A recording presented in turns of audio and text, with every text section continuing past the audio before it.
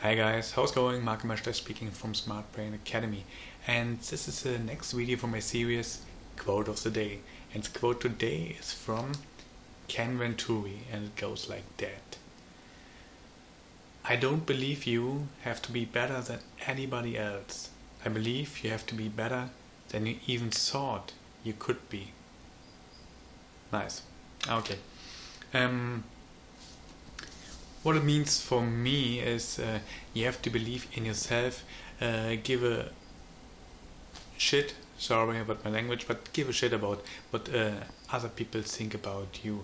Uh, you have to believe in yourself and then uh, you can achieve uh, everything, okay?